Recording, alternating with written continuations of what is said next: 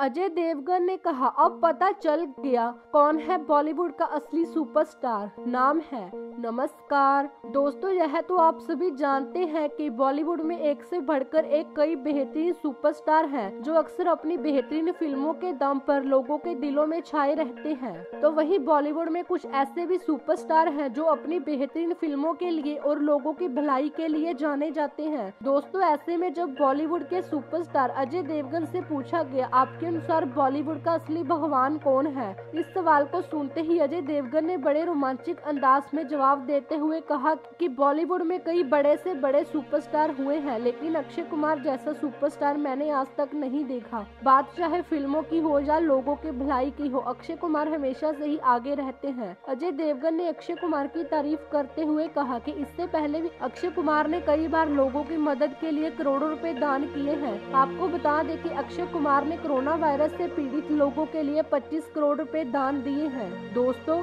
अगर आपको हमारी ये जानकारी अच्छी लगी तो कमेंट करके बताएँ। लाइक और शेयर ज़रूर कीजिए और आगे भी ऐसी खबरें देखने के लिए हमारे चैनल को सब्सक्राइब करना ना भूले, क्यूँकी हम हर रोज ऐसी खबरें आपके लिए लाते रहते हैं। धन्यवाद।